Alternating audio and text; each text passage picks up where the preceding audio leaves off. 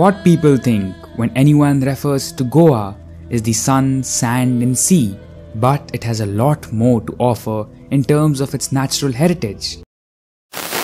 What's up everybody and welcome back to my channel. So from the past few days or weeks you must be seeing these particular pictures on the social media. So these pictures are from Goa where people are protesting coming on the railway tracks. But why? Why are these people coming on the railway track क्यों आ रहे क्यों protest हो रहे basically there are three projects that's in Goa. That is the four lane expansion highway double tracking the railway tracks and laying a 400 kilowatt power line. These are good right? I mean like more transportation more business but no. There is the thing there is a big thing why these people are protesting against these three projects. Because it's going to harm the nature of Goa. Uh, when these projects were coming up, obviously you need land. So there were 30 forest land that would be destroyed because for these three projects. The बड़े forest lands that is the Mollem National Park and the Bhagwan Mahavir Wildlife Sanctuary इसके surrounding के जो forest they would be harmed. So for the people who do not know the Bhagwan Mahavir Wildlife Sanctuary uh, it's basically you know Dudh Sagar waterfalls exactly So Dudhsagar is in that and just imagine the beautiful waterfall has a beautiful surrounding like forest hai uske beech waterfall. Just imagine it, there is just the waterfall and there is no forest around. How would you like it? It's pathetic, right?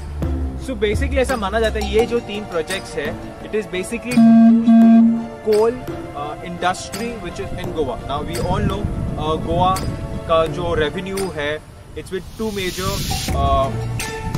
two major two major what is it revenue that is the tourism जिसमें everything like food booze everything come like the tourism and the second is the coal industry so माना जाता है कि ये जो तीन projects है, इससे कोल का इंडस्ट्री और बूस्ट होगा। But do you think it's valuable to to just boost the coal industry to harm the nature But I won't talk more about the project. The video is all about, do you think can destroy the nature? Don't you think by destroying the nature, we are just not, by destroying the nature, we are destroying a lot of things. A lot of things are going to be harmed, like the wildlife. There are so many species that stay in this wildlife, in this forest land. They will die, they will get destroyed, Forget the species. Even uh, humans are in danger You guys will be thinking, humans कैसे danger में हो सकते Boss, if you harm the nature, the nature will harm you back. There will be floods. There will be a lot of things that can that can happen, and that's a threat. From last two years, we are seeing, especially in south side, the Kerala floods which are happening. There are so many people who lost their life, who lost their homes. There is loss of money. There is loss of life. There is loss of so many, so many things. These three projects are more bigger than nature?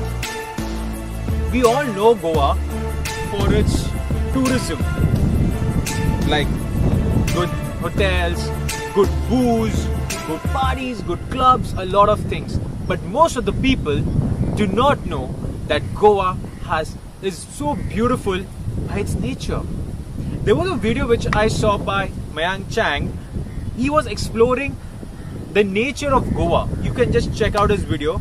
It is so beautiful.